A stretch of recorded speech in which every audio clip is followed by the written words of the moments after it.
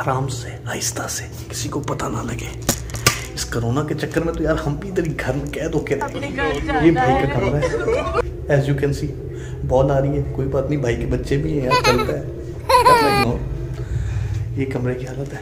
सोचा ये जा रहा है खामोशी के साथ छत पे निकला जाए कि बगैर किसी को पता लगे थोड़ा हम भी रिफ़्रेश होके आ जाए। सो कमा चलते हैं।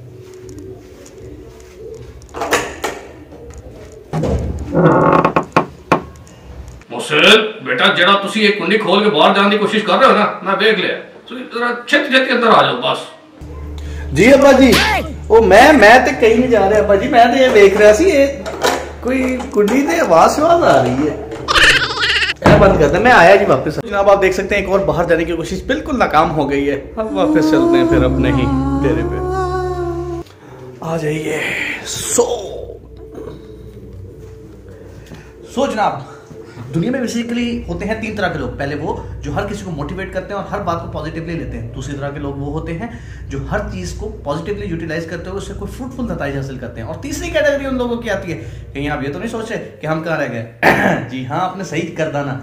उसमें आते हैं आप और मेरे जैसे लोग जो हर चीज़ पे करते हैं तनकीद। जैसे कि आटा गूंदी हेल्दी क्यों है?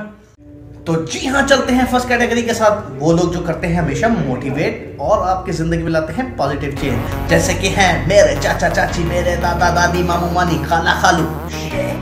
वो, भाई, ये खसूसियत भाई मैं ना, इस कमरे में रह रह के ये ये, पहले से नहीं थी। अब कुछ तो सीखना ही था ना। बहरहाल थैंक्स टू यू पीपल आप लोगों ने ही हम सब बच्चों को मोटिवेट किया और यहाँ तक पहुँचने के लिए। जैसे कि मैं अब्बा जी से ज़िक्र कर रहा था अब्बा जी ये क्या गवर्नमेंट ने हमें तंग करके रख दिया लॉकडाउन शॉकडाउन करके घरों में कैद कर दिया। मैं तो तंग आ गया। ये तो होगा।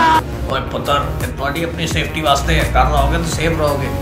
फॉरन I got idea and the motivation यार जी सही कह रहे हैं। स्टे होम स्टे सेफ़ क्योंकि ये है वायरस करोना ये खुद चल के घर नहीं आता। इसे हम हैं बाहर जाके लेके आते घरों में। सो करोना भरोना क्योंकि ये होता है एक से दो को। दो से चार चार से आठ लगातार होता रहता है ये बार बार सो बचो ना।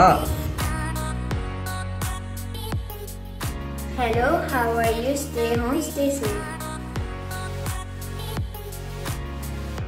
अब दूसरी कैटेगरी में आते हैं वो लोग जो वक्त को करते हैं यूटिलाइज और उससे हासिल करते हैं फ्रूटफुल नतज जैसे कि शादीशुदा लोग जैसे कि आपका भाई क्योंकि आपका भाई और आप सब लोगों को एक ही शिकवे शिकायत जो कि आपकी बेगम संजय भर भर के आपको लगाती हैं। जैसे कि आप तो हमें कभी टाइम ही नहीं देते। हम्म। कभी बच्चों को संभाला है आपने? हम्म।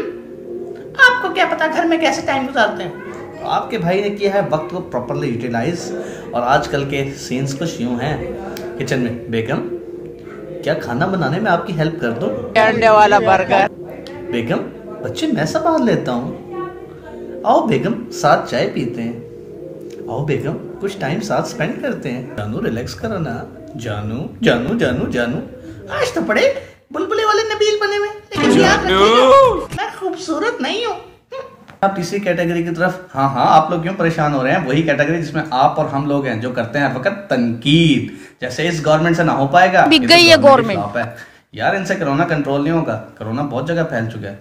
ये जो बाहर फंसे हुए तालबात हैं इन्हें भी नहीं ला पा रहे गवर्नमेंट बाहर फंसे हुए तालबात को लाने की वजह से ही कोरोना फैला है। ये तो होगा मजदूरों को डेली उजरत वालों को खाना नहीं मिल रहा। लोग लॉकडाउन हो गए। लेकिन सोचने समझने की बात यह है क्या हर बात में हम लोग सिर्फ़ तनकीद ही करते रहेंगे? आखिर ये सब कुछ किसके लिए हो रहा है? किसकी वजह से हो रहा है? हाँ ये सब कुछ किया जा रहा है हम लोगों के लिए, हमारी सेफ्टी के लिए। तो लिहाजा तनकीद को छोड़िए, अपने दिमाग को इस्तेमाल कीजिए, अकल से काम लीजिए और इस बात को समझिए कि आखिर ऐसा क्यों किया जा रहा है। क्योंकि आप और हम मिल के ही इस चीज़ को कंट्रोल कर सकते हैं। अगर हम भी तनकीद करेंगे तो वाकई हम सबसे कुछ ना हो पाएगा। तो in the end wear mask wear gloves क्योंकि हमको नहीं होना है बीमार, क्योंकि इसकी वैक्सीन अभी नहीं हुई है तैयार। अब इसके अलावा और कुछ ऐसी कैटेगरीज भी होती हैं, जैसे कि ये।